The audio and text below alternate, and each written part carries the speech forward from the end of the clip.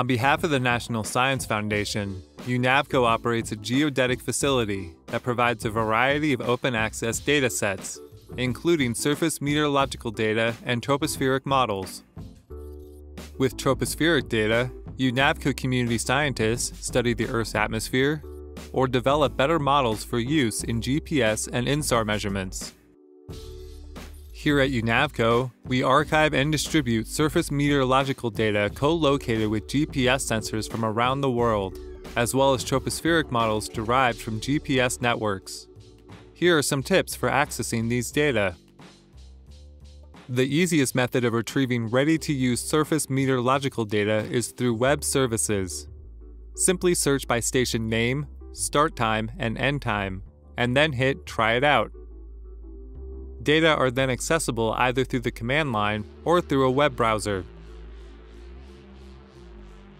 Surface meteorological data in RINEX format are also available through the Data Archive Interface, or DAI.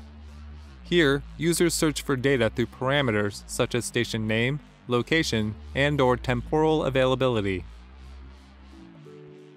Before searching, make sure to check the Include Only Metpack Sites box under the Global Search Options dropdown. After the search is complete and before adding data to the download cart, be sure to check the MET box. Tropospheric zenith wet delay models generated by GAGE are accessible through FTP,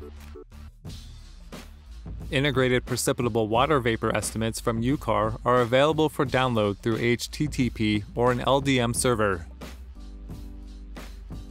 UNAVCO promotes open access data and requires those who download data to cite it. DOIs for tropospheric datasets can be requested by contacting UNAVCO.